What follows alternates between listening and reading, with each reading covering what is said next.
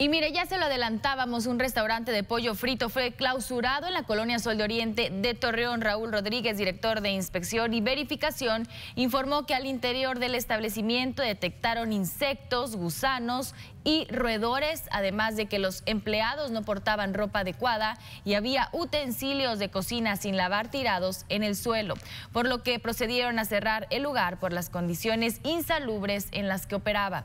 El propietario tendrá una semana para limpiar y fumigar el local, pero hasta que no cumpla, el negocio seguirá clausurado.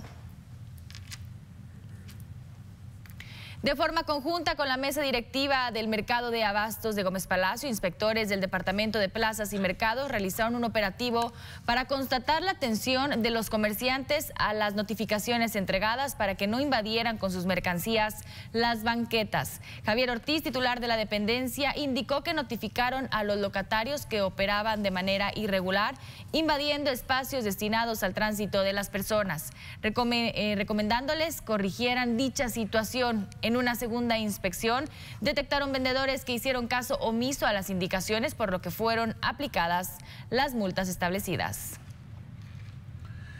En otros temas, un grupo de taxistas realizó una manifestación en la presidencia municipal de Matamoros en los momentos en que era desarrollada la sesión de Cabildo, donde fue aprobada por mayoría la entrega de 200 de 200 concesiones para el servicio público de pasajeros en la modalidad de taxi.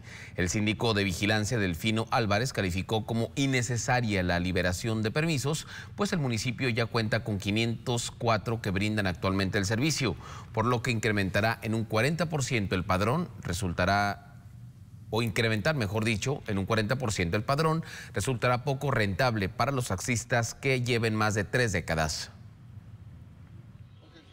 Sesión extraordinaria que se llevó inmediatamente express. Por ahí este, pusieron a aprobación pues, 200 eh, concesiones de taxis. Anteriormente habían puesto 171, lo cual nosotros pues, nos opusimos, la fracción de Morena nos opusimos, porque no, no creemos que, que sea necesaria, ya que eh, aquí en el, en el municipio de Matamoros contamos ya con 504 concesiones de taxis.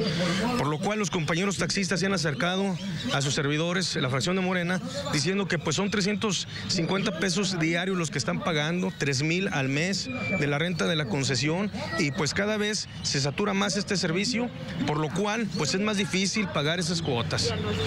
No, ya no es costeable, por lo cual pues ellos también pues, no pueden cobrar más al, al pasaje. Lo más que pueden ellos cobrar son 35 pesos. No puede ser que en un municipio de 118 mil habitantes aproximadamente vayan a meter más de 200 concesiones que en dos municipios como es San Pedro y, este, y Francisco Madero hay 350, 360 concesiones en dos municipios y aquí casi ya lo doble con estas 200 que, están este, autorizando.